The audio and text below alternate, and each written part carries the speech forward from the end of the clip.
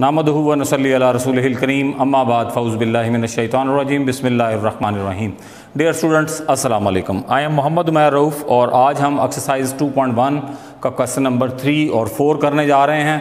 बहुत आसान सवाल है। अगर आप थोड़ी सी तवज्जो करेंगे तो ये समझ आ जाएगा। ये कल वाले चैप्टर से टॉपिक से रिलेटेड है और उसमें हमने क्या पढ़ा था? थ्योरी ऑफ़ क्वाड्रेटिक इक्वेजन अब इसमें हमने पढ़े थे कि जनाब डिस्क्रिमिनेंट क्या होता है और डिस्क्रिमिनेंट से जो है वो हमने फिर आगे प्रोडिक्शंस की थी कि रूट्स जो हैं उनकी नेचर किस किस्म की हो सकती है। अब इसका जो क्वेश्चन नंबर थ्री है, वो यहाँ पे दिया हुआ है for what value of k the expression this is a perfect square ये जो एक्सप्रेशन दिया हुआ है, ये परफेक्ट स्केयर हो जाएगा के की किस वैल्यू के लिए? ठीक है? तो परफेक्ट स्केयर के अंदर बेटा आपको ये पता होना चाहिए कि जब कोई चीज़ परफेक्ट स्केयर होती है तो उसका डिस्क्रिमिनेंट जो है वो हमेशा ज़ीरो आता है। तमाम तरह के परफेक्ट स्केयर्स का डिस्क्रिमिनेंट हमेशा ज़ीरो आता है। तो हमने इसको कहा जी कि ये अगर परफेक्ट स्केयर है तो देन इसका डिस्क्रिमिनेंट क्या आ जाएगा? ज़ीरो आ जाएगा। अगर इसका डिस्क्रिमिनेंट ज़ीरो आ जाएगा तो अब इसका पहले डिस्क्रिमिनेंट फाइंड करते हैं। डिस्क्रिमिनेंट फाइंड करने के लिए देखें, ये इक्वेजन जो है वो पहले ऑलरेडी जो है स्टैंडर्ड फॉर्म में है। इसमें ये वाली चीज़ जो है क्या है? ए है। ये वाली चीज़ जो है वो बी है। ये जो है वो सी है। तो वो हमने ए बी और सी यहाँ पे मेंशन कर लिया। और इसका आप डिस्क्रिमिनेंट निकालने की तरफ़ जाते हैं। अब डिस्क्रिमिनेंट क्या है जी? B square minus four a c b की जगह बी की वैल्यू ए की जगह ए की वैल्यू सी की जगह सी की वैल्यू लगा दी। अब जो बी था, उसकी जगह बी की वैल्यू जो लगाई है, उसका होल स्केयर है यहाँ पे। तो वो क्या आ जाएगा? फोर का स्केयर अलहदा से आ जाएगा और ये अंदर वाले का होल स्केयर अलहदा आ जाएगा। A square b square two a b के फार्मूले से हमने ए प्लस बी का होल स्केयर जैसे खोलते हैं, उस फार्मूले से हमने इसको खोल लिया। और ये वाला जो है ए सी इसको अगर हम मल्टीप्लाई करते हैं तो ये क्या आता है? सिक्सटीन के स्केयर अब इस फोर को अंदर मल्टीप्लाई कर देते हैं। एक के स्केयर वाली वैल्यू ये है, एक के स्केयर वाली वैल्यू ये है। तो 16 केयर स्केयर में से फोर के स्केयर जाएगा तो माइनस ट्वेल्व के स्केयर बाकी सारा का सारा वैसे ही आ जाएगा। अब यहाँ पे हमें नज़र आ रहा है कि इक्वेजन स्टैंडर्ड शक्ल के अंदर नहीं है, लिहाजा हमने इसमें से क्या निकाल लिया कॉमन ले लेंगे, जैसे इसकी फैक्टराइजेशन करनी है अब हमने। तो इसमें से माइनस फोर जो है वो कॉमन आ गया। माइनस फोर को जब डिवाइड करेंगे इक्वेजन से इधर जाके तो वो ख़त्म हो जाएगा ज़ीरो हो जाएगा। तो ये इक्वेजन आ गई हमारे पास, बाकी जो पीछे बच गई, अब हमें तो चाहिए था फॉर वट वैल्यू ऑफ़ के के की वैल्यू चाहिए थी। जबकि यहाँ के की जो है वो क्वाड्रेटिक इक्वेजन बन गई। तो इस क्वाड्रेटिक इक्वेजन को फिर सॉल्व कर लेंगे। क्वाड्रेटिक इक्वेजन को सॉल्व करने के लिए देखें, यहाँ ए सी आ रहा है, क्या चीज़ दी? प्लस थ्री प्लस थ्री के दो टुकड़े करेंगे, वो क्या क्या बनते हैं जी? ये सेंटर में क्योंकि बी माइनस का है? माइनस टू है। तो माइनस टू के हिसाब से हमने इसके क्या कर लिए? थ्री के दो टुकड़े थ्री और वन, यानी क्या माइनस थ्री के और के, यानी इसके दो टुकड़े कर लिए थे। अब इतने हिस्से में से क्या कॉमन है? इतने हिस्से में से जो है वो माइनस थ्री के कॉमन है। इतने हिस्से में से क्या कॉमन है? वन कॉमन है। तो इधर क्या आ जाएगा जनाब? ये इसको अगर आप फर्दर सिंप्लीफिकेशन करते हैं तो आपको पता लगता है जी कि के माइनस वन इधर भी है के माइनस इधर भी है तो के माइनस वन कॉमन आ जाएगा, अंदर थ्री के प्लस वन बच जाएगा। तो k minus one would be equal to zero और ये दो वैल्यूज़ हैं जो मल्टीप्लाई हो रही है आंसर ज़ीरो आ रहा है इधर ये ज़ीरो है और ये ज़ीरो है। तो हमने इसको ज़ीरो के बराबर पुट किया तो k is equal to one जब इसको ज़ीरो के बराबर पुट किया तो k is equal to minus one by three तो ये परफेक्ट स्केयर अगर होगा तो के की वैल्यू या तो वन होगी या माइनस वन बाय थ्री होगी। अच्छा अब इसी तरीके से मूविंग ऑन फर्दर इसका क्वेश्चन नंबर फोर अब क्वेश्चन नंबर फोर के तीन पार्ट हैं। तीन में से दो मैंने आपके लिए यहाँ कर दिए हैं। एक आपका होमवर्क है। और ये क्वेश्चन नंबर फोर की स्टेटमेंट मैं आपके लिए पढ़ देता हूँ। क्वेश्चन नंबर फोर की स्टेटमेंट क्या है जी? For what value of k if the roots of the following equation are equal अब ये भी आपको पता लग गया कि जनाब आपने पीछे पढ़ा था कि ऐसी इक्वेजन जिसके रूट्स जो हैं वो इक्वल हों तो उसका डिस्क्रिमिनेंट जो है वो ज़ीरो होता है। उस सूरत में डिस्क्रिमिनेंट क्या होता है? ज़ीरो, ये ऑलरेडी इस्टेब्लिश बात है जो हमने कल से पढ़ते आ रहे हैं। अच्छा अब इसके अंदर देखेंगे कि ये इक्वेशन हमारे पास दी हुई है।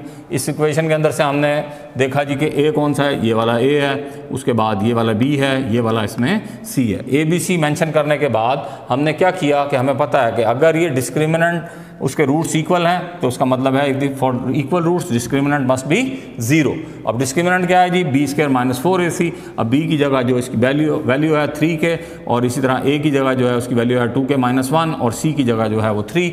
अब इसकी फर्दर सिंप्लीफिकेशन है, फोर थ्री जो ट्वेल्व आ गया, ये नाइन के नाइन के स्केयर आ जाएगा, इसका स्केयर खोल लेंगे, माइनस ट्वेल्व को इस अंदर मल्टीप्लाई कर देंगे इसके साथ तो ये इक्वेजन आपके सामने आ गई। अब इस इक्वेजन की जो है वो फिर आपके सामने आ कि आपको तो के की वैल्यू चाहिए, लेकिन यहाँ जो बच रही है वो क्वाड्रेटिक इक्वेजन है। इस क्वाड्रेटिक इक्वेजन को सॉल्व करना है तो इसके लिए आप देखें जी, सबसे पहले इसमें से कॉमन निकाल दिया थ्री थ्री उधर जाकर डिवाइड हो जाएगा, ख़त्म हो गया ज़ीरो के साथ, इसके बाद ये बच गया जी। अब इसमें क्या है जी माइनस एट ए सी इसका कितना आ रहा है? ट्वेल्व।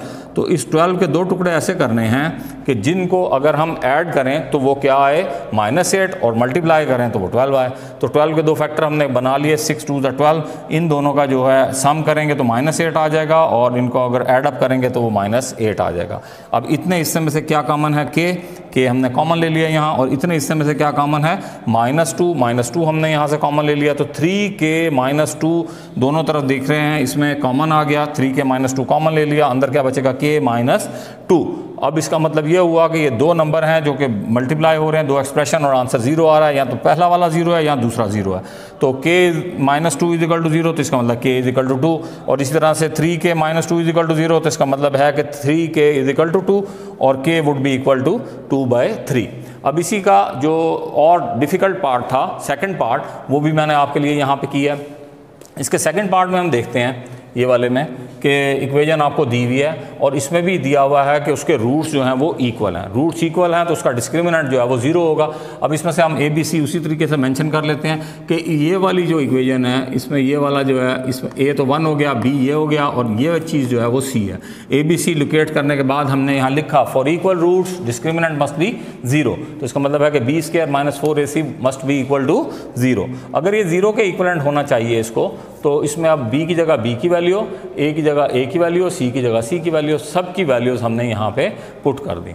अब ये बी का स्केयर है बी का स्केयर है तो इसका मतलब ये है टू का भी स्केयर है और उसका भी स्केयर है। इसका स्केयर खोला तो a square b square two a b उसी तरह जो फार्मूला है फार्मूले के मुताबिक ये खुलेगा और ये साथ आ गया माइनस फोर ए सी ठीक है जी ए की जगह ए और सी की जो हमने वैल्यू वहाँ पे निकाली थी थ्री के प्लस फोर वो आ गई। अब इसको मल्टीप्लाई किया तो ये माइनस फोर के बच गया और जबकि इसका होल स्केयर खोल लिया, इस फोर को अंदर मल्टीप्लाई कर देते हैं फोर के स्केयर सिक्सटीन के और ये सिक्सटीन आ गया। इसी तरह से ये जो फोर थ्री या ट्वेल्व माइनस ट्वेल्व के हो जाएगा क्योंकि इसके साथ माइनस है और ये माइनस फोर और प्लस फोर मल्टीप्लाई होकर माइनस सिक्सटीन हो जाएँगे। अब यहाँ पर आप देखते हैं, गौर फरमाएँ अगर थोड़ा सा, कि आपके पास आ गया प्लस सिक्सटीन और ये माइनस सिक्सटीन ये दोनों कैंसिल हो गए। ठीक है? यहाँ जो वैल्यूज़ बची वो क्या बची फोर के स्केयर और ये सिक्सटीन के में से माइनस ट्वेल्व के गए तो फिर क्या बचा? फोर के अब इसमें से देखें फोर के जो है वो कॉमन आता है। इसमें भी फोर के है, इसमें भी फोर के है। फोर के स्केयर में से फोर के बाहर गया तो अंदर बचा के और इधर से सारा फोर के बाहर चला गया तो वन तो ये आपके पास सूरत हाल बच गई कि दो नंबर्स ऐसे हैं, दो एक्सप्रेशन ऐसे हैं जो मल्टीप्लाई हो रहे हैं तो आंसर ज़ीरो है। Either this would be zero और दैट वुड भी ज़ीरो तो इसको आप ज़ीरो कर रखेंगे तो के जो है उसकी वैल्यू आ गई एक आपके पास ज़ीरो और इसको के को ज़ीरो के बराबर रखा तो आंसर आ गया k is equal to minus one तो के की ये दो वैल्यूज़ आ जाएँगी जिनके लिए जो है ये एक अदद इस जब भी के की जगह पे ज़ीरो रखेंगे या माइनस वन रखेंगे तो इस इस, इक्वेशन में जब इसको आप सॉल्व करेंगे तो इनके रूट्स जो हैं वो क्या आएँगे? इक्वल आएँगे। तो होपफुली आपको ये बात समझ आ गई होगी। ये दोनों क्वेश्चन मैंने आपको एक्सप्लेन कर दिए, बल्कि ये आज के काम में सवाल ही दो हैं जो मैंने दोनों के दोनों बोर्ड पे कर दिए हैं। एक पार्ट है, वो आपने होमवर्क में करना है। अपना होमवर्क ज़रूर अपने टीचर्स को सेंड किया करें। अल्लाह आपका हामी नासिर हो अगर किसी किस्म का कन्फ्यूज़न हो तो आप मुझसे रबता कर सकते हैं। अल्लाह हाफिज़।